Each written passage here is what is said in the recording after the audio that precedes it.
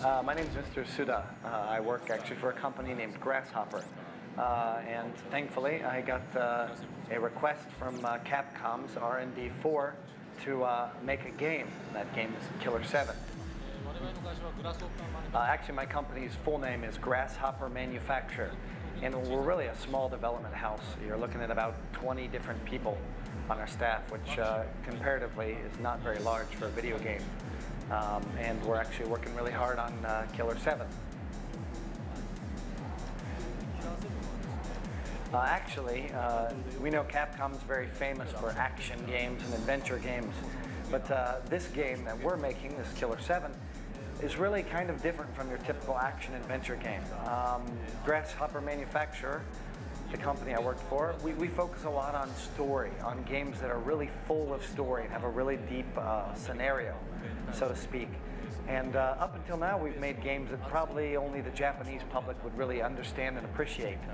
So uh, we decided to, for once, try uh, to make a game that Americans would appreciate and like, um, as well as Europeans. But of course, it will still have our characteristic of a game that's got a really deep and fascinating story. That's actually a really good question.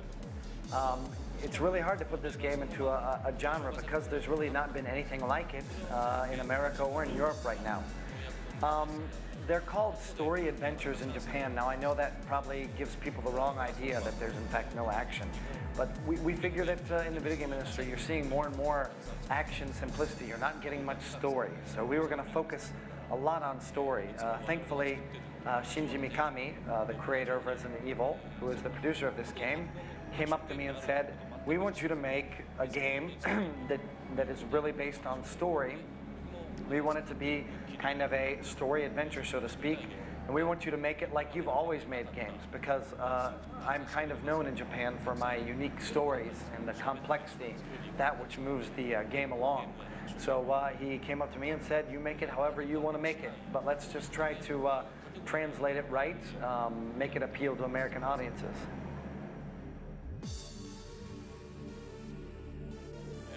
Um, actually, and this may seem hard to follow, but like I said, I like interesting stories. Uh, the main character, or actually I should say characters, are multiple personalities. That's where the seven from Killer 7 comes from. Now, we don't like using the word multiple personality because that sounds like it's one person who has uh, seven different personalities in their mind. This person has a special ability where they are one person, but they can actually transform, change, even how the way they look when they turn into this other personality. Each one of these personalities has their own ability as well as their own weapons, etc., that they're good with. You have some that are good with just a small handgun, uh, others that uh, use a sniper rifle, and then yet even others that use two guns blasting away at the same time. Uh, these uh, seven people, yet one single person, I should say, this Killer 7, uh, they actually battle against an evil uh, person named Kundan. He will be the enemy of the game. And this Kundan has the ability to make people follow him uh, obediently, do almost whatever he wants to, to the point where they lose their free will. So far to the point that he is compared to a god almost in terms. So you, as the main hero who must stop this Kundan, who is referred to as a god, in a way, is, are a god killer, so to speak. Um, actually, this game is going to be broken down into chapters, so to speak. Um, there's going to be six major chapters in the game. Of course, as you clear one chapter, you'll move on.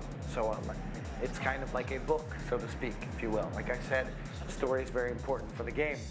Um, I can't give away too much information right now, but I will tell you that one of the chapters takes place inside a, an old Japanese hotel uh, inside the city of Hakone. Hakone is actually a city in uh, Shizuoka Prefecture in Japan. It's sort of like Miami if you're going to compare it to a location in America.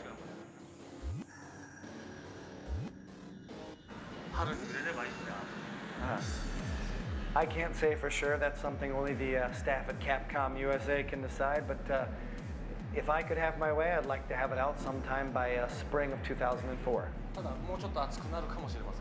But, uh, however, However, I really am a perfectionist and I have to get that story down and I want to make it the best damn game that I can. So uh, maybe the weather will be a little bit warmer out by the time the game makes its official release.